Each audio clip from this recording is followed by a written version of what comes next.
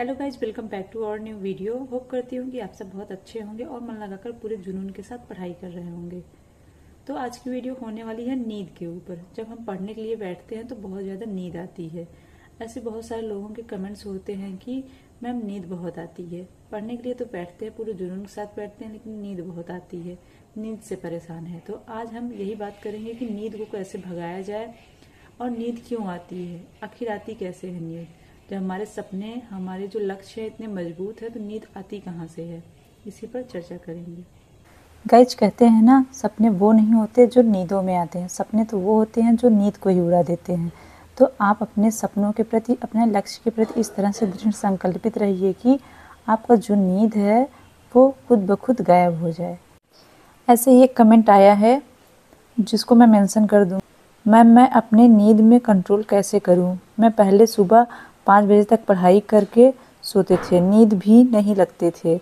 अब मैम, जल्दी एक दो बजे नींद लग, लगती है, सीधा ग्यारह बारह बजे सुबह नींद खुलती है। पहले चार घंटे में ही नींद पूरा हो जाता था। मैम, अब नींद बहुत बढ़ गया, बढ़ गई है। मैम, क्या करूँ? कुछ सलूशन इसका बता दीजिए। मैम, की नींद को कम कैसे करें? तो पहले आपका जो नींद था, चार घंटे में ही पूरा हो जाता था। मतलब जो नींद है वो अपने कंट्रोल में है। अगर हम जितना सोएँगे, उतनी आपकी कैपेसिटी रहेगी नींद पूरा होने की। जैसे हम आठ घंटा, सात घंटा, बारह घंटा, ग्यारह घंटा ये सो रहे हैं तो जितनी आपकी अपनी कैपेसिटी बढ़ाएँगे सोने की, उतने टाइम में आपकी नींद पूरा होगी। और जितने कम टाइम आप करेंगे, आपकी नींद उतने कम टाइम में पूरा कर, होगी। तो वो पूरा पूरा अपने ऊपर है नींद को कंट्रोल करना। आप अपने बॉडी को जितने टाइम के लिए अभ्यस्त कर देंगे, उतने ही टाइम में आपकी नींद पूरी हो जाएगी। मैं फिर आप लोगों से एक बात कहूँगी कि आप मॉर्निंग में उठकर जब एक टारगेट फिक्स करेंगे कि इसको मॉर्निंग से लेकर नाइट तक मुझको कंप्लीट करना है, जब तक वो टारगेट आपका कंप्लीट नहीं हो जाएगा, उसके पहले अगर आपको नींद आती है तो आप अपने अपने बॉडी को अपने कंट्रोल में रखिए कि अभी मेरा टारगेट जो है जितना मुझको पढ़ना है, वो भी कंप्लीट नहीं हुआ है, उसके पहले नींद नहीं आ सकता। वो कहते नहीं है, नींद से इतना प्यार मत करो कि मंजिल भी ख्वाब बन जाए। कठिन परिश्रम का कोई विकल्प नहीं होता है। इसलिए आप कठिन परिश्रम करिए। जब भी आपको नींद आए आप अपने उन चीज़ों को सोचिए जिसकी वजह से आपको टेंशन होता है जिससे जिसकी वजह से आप, आपके अंदर डर बैठता है कि मुझको गवर्नमेंट जॉब नहीं मिला तो क्या होगा सफलता नहीं मिली तो क्या हो, होगा आस पड़ोस रिश्तेदार घर के लोग ऐसे ऐसे बोलते हैं ताना मारते हैं वगैरह वगैरह अगर हम अभी सोएँगे सक्सेस नहीं होंगे तो क्या होगा वगैरह वगैरह जब भी आपको ये सब, जब भी आपके ऊपर नींद हावी हो तो आप अपने ऐसी चीज़ों को सोचिए जिसकी वजह से आपको एंजाइटी होती है टेंशन होता है, डर अंदर बना रहता है। ऐसी चीज़ों को सोचेंगे तो आपके, आपका जो नींद है वो भाग जाएगा। आपको सिर्फ़ अपनी मंजिल दिखेगी, अपनी सफलता दिखेगा, आपका आपका वो अपना टारगेट दिखेगा जिसको आपको अचीव करना है दिन से लेकर के रात भर में, जितना आप फिक्स किए हैं। गाइज़ एक बात ध्यान रखना, नींद पूरी हो ना हो, लेकिन हमारे सपने पूरे होने चाहिए। नींद तो हमारी जो है, बाद में भी पूरी हो जाएगी। जब हम सक्सेस हो जाएँगे तो करना क्या है? सोना ही है ना? नींद तो हमारी बाद में पूरी हो जाएगी, लेकिन हमारे जो सपने हैं, वो पूरे होने चाहिए। सपनों के प्रति आप इतने दृढ़ संकल्पित रहिए कि नींद आपके ऊपर हावी ना होने पाए, आपके सपनों के ऊपर हावी ना होने पाए। क्योंकि आप अभी सोएँगे तो आपको सक्सेस नहीं मिलेगी, सफलता नहीं मिलेगी। जो आपके सपने हैं वो पूरे नहीं होंगे। जब सपने नहीं पूरे होंगे तो लोग आपका जीना हराम कर देंगे। आस पड़ोस रिश्तेदार, घर के लोग, हर कोई आपका जीना हराम कर देगा। तो आपको खुद ब खुद नींद नहीं आएगी।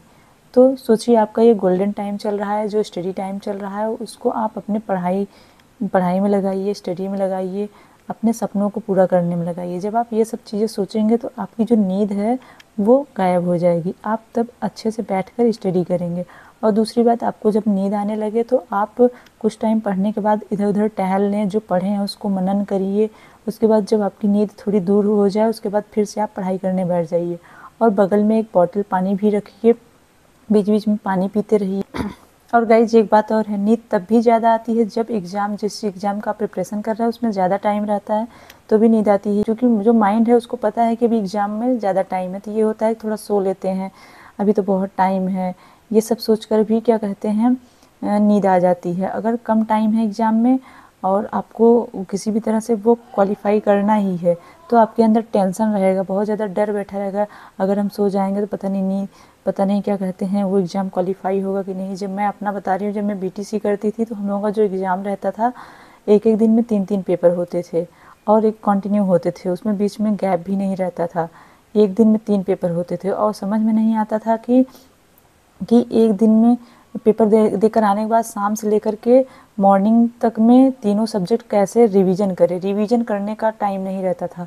तो मुश्किल से मैं तीन से चार घंटे सोती थी। तीन से चार घंटे भी मैं मैं ज़्यादा बता रही हूँ, क्योंकि मैं जो तीनों सब्जेक्ट रहते थे, जो नेक्स्ट डे एग्ज़ाम होने वाले रहते थे, उसको मैं पार्ट बाय पार्ट में डिवाइड कर देती थी।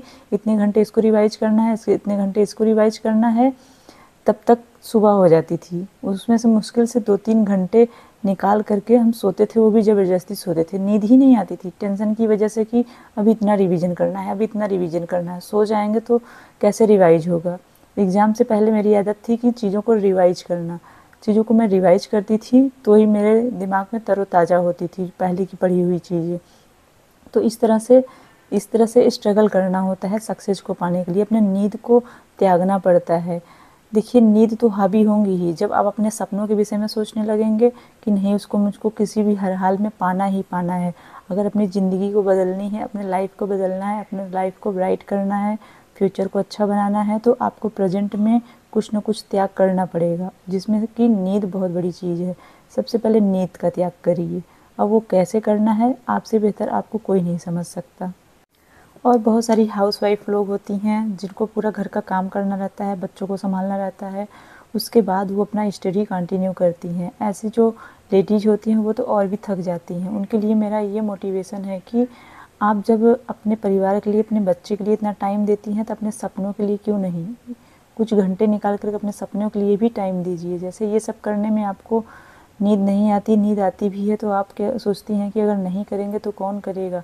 आप पूरे जुनून के साथ लगी रहती हैं परिवार में, बच्चों में, सबकी केयर करने में। तो आप अपने सपनों को क्यों पीछे छोड़ती हैं? वो तो आपके लिए है ना, उसके विषय में आप और सोचिए।